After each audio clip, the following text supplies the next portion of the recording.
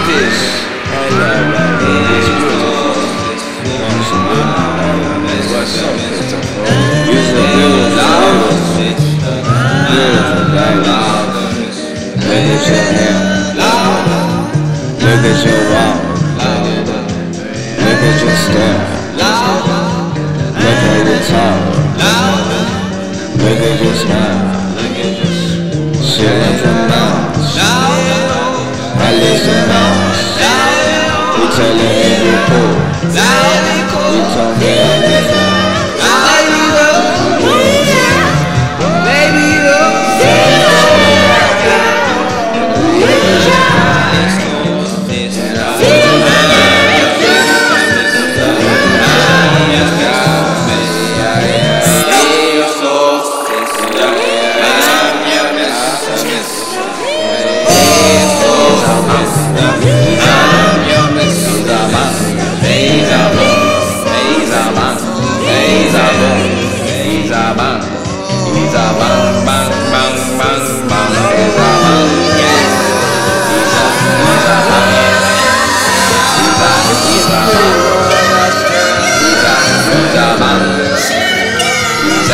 I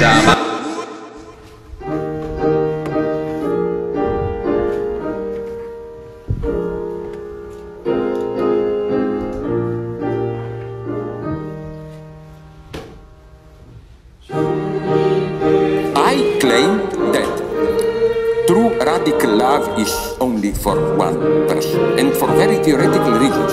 If you you may have polyamory, you satisfy this need of mine, you that, but this is pragmatic reasoning.